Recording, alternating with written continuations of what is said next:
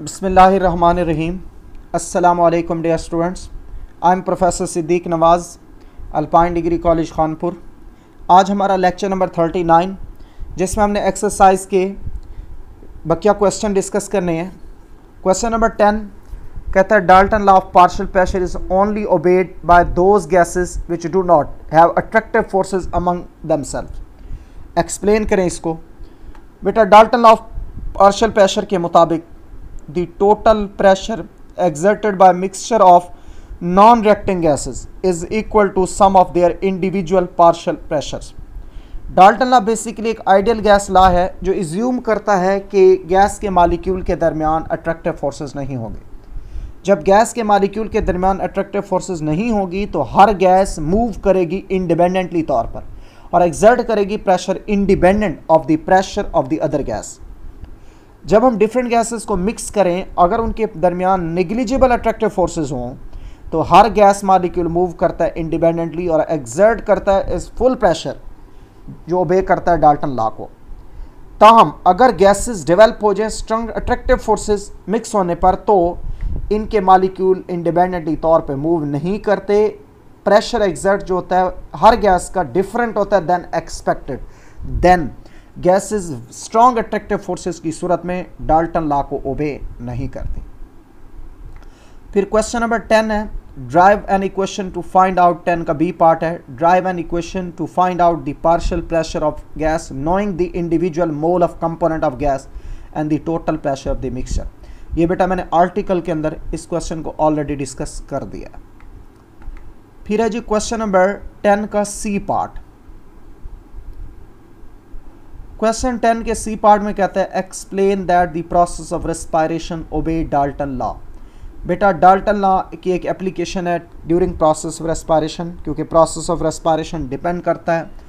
Difference in partial pressure of gases present in the air जब animal inhale करते हैं air को तो ऑक्सीजन मूव करते हैं इनटू लंग्स क्योंकि ऑक्सीजन का प्रेशर 159 टार है इन एटमॉस्फेयर जबकि इनटू द लंग्स जो है 160 टार है. CO2 प्रोड्यूस होती है ड्यूरिंग एस्पायरेशन वो मूव करती है अपोजिट इन डायरेक्शन यानी एक्सहेल होती है। वजह क्या है? क्योंकि एयर के अंदर पाए जाने वाली तमाम गैसेस बिहेव करती हैं इंडिपेंडेंटली और ओबे करती हैं Dalton law of partial pressure को। फिर है क्वेश्चन नंबर टेन का D part how do you differentiate between diffusion and effusion explain Graham's law of diffusion ये ऑलरेडी हम डिस्कस कर चुके हैं।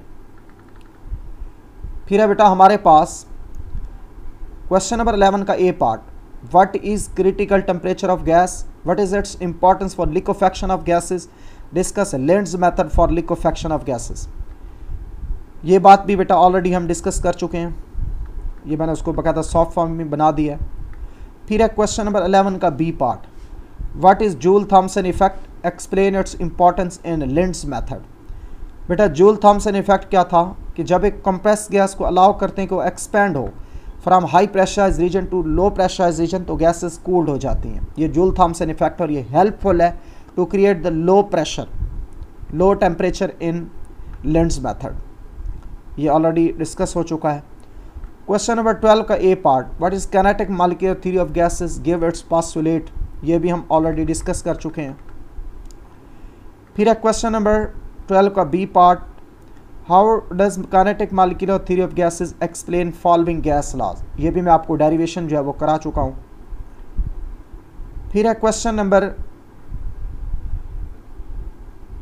थर्टीन का A part gases show non ideal behaviour at low temperature and high pressure explain this with graph ये already हम discuss कर चुके हैं। फिर है बेटा हमारे पास क्वेश्चन नंबर थर्टीन का B part do you think that some of the postulate of kinetic molecular theory of gas is faulty point out these postulate इसे भी हम ऑलरेडी डिस्कस कर चुके हैं. फिर है क्वेश्चन नंबर थर्टीन का C part hydrogen and helium are ideal at room temperature but S O two and C L two are non ideal how do you explain it बेटा इस बात को समझिएगा. जो एक्सटेंट ऑफ़ नॉन आइडियलिटी है gases की, वो depend करती है नेचर ऑफ़ गैसेस और उनके साइज़ पर। बेसिकली अगर गैस का लार्ज साइज़ और उसकी पोलर नेचर है तो उसके ए और बी की वैल्यू लार्ज होंगी। गैसेस के दरमियान इंटरमालिक्यूलर फोर्सेस स्ट्रॉन्ग होंगी तो गैस बिहेव करेगी नॉन आइडियल और अगर ए और बी की वैल्यू समाल हों तो गैसेस आइडियल होती हैं। हाइड्रोजन और हीलियम लीस वैल्यू ए और बी की, क्योंकि इनके स्मॉल साइज़ हैं और ये नॉन पोलर करेक्टर हैं। इनमें वीक अट्रैक्टिव फोर्सेस हैं, बल्कि निगलिजिबल अट्रैक्टिव फोर्सेस हैं तो ये गैसेस आइडियल हैं। जबकि जो प्रेजेंस है इंटरमालिक्यूल फोर्सेस की क्लोरीन और SO2 के अंदर इनके लार्ज साइज़ की वजह से वो इंक्रीज़ करते हैं इनके ए और बी फैक्टर को, जिससे गैसेस नॉन आइडियल हो जाती हैं कंपैरेटिव टू हाइड्रोजन और हीलियम फिर है बेटा क्वेश्चन 14 का A part derive a van der Waals equation for real gas ये भी हम ऑलरेडी डिस्कस कर चुके हैं।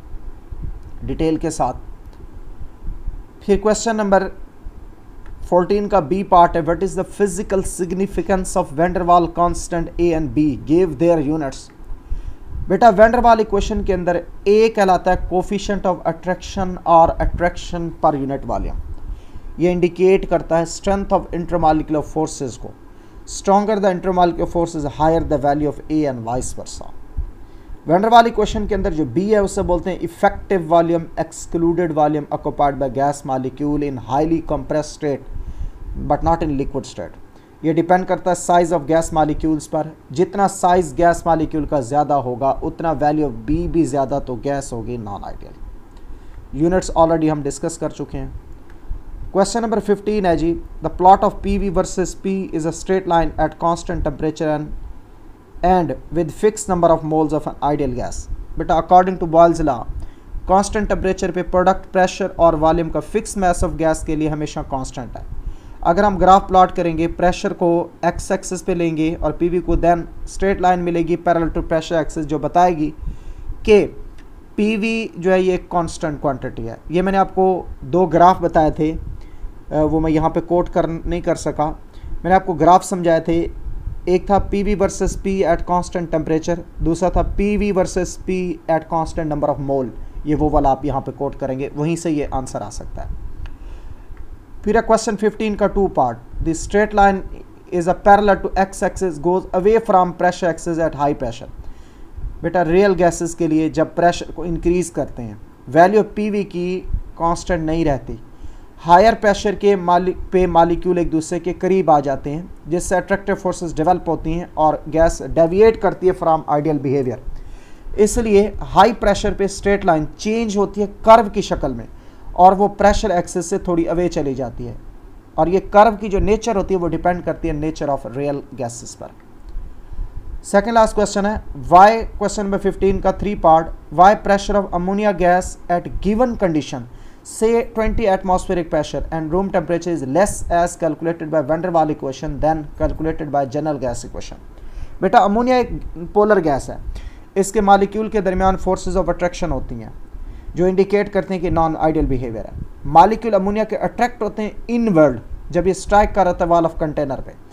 जिससे जो एग्जर्ट प्रेशर होता है, वो लेस होता है देन एक्सपेक्टेड आइडियल प्रेशर क्योंकि इस प्रेशर पे गैसेस के दरमियान अट्रैक्टिव फोर्सेज हैं।